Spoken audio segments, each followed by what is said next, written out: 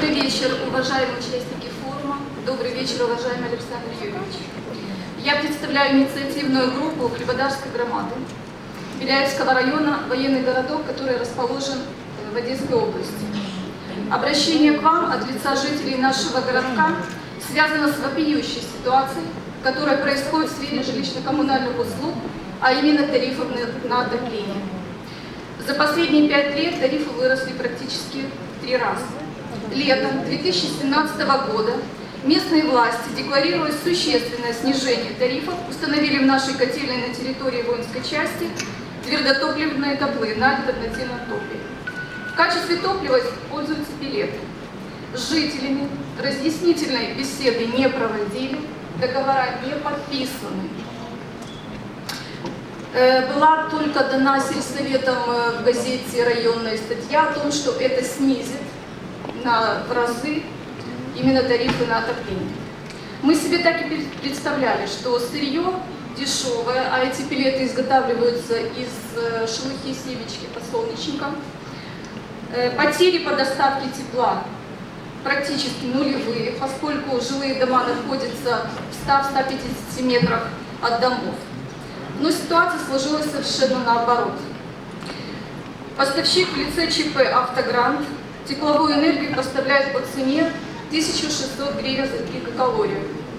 Хлебодарская ЖКХ поставляет ее, эту же тепловую энергию, э, в размере 2932 гривны для населения, 3372 гривны – это для бюджетников и по 4389 гривен для остальных потребителей.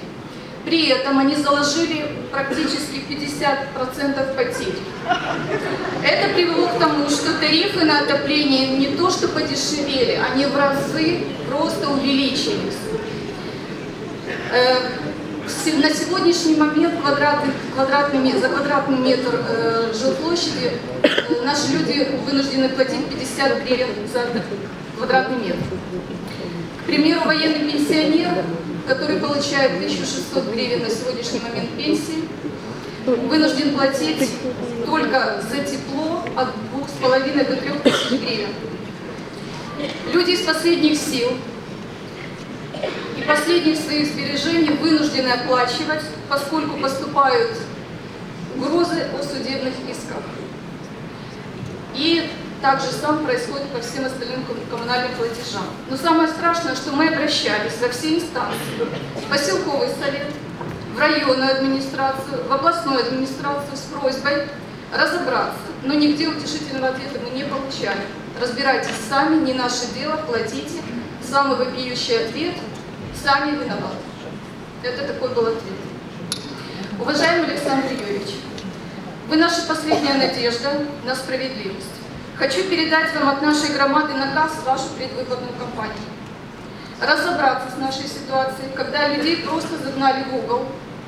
Разобраться в экономической обоснованности данных тарифов, которые привели к неспособности оплачивать платежи.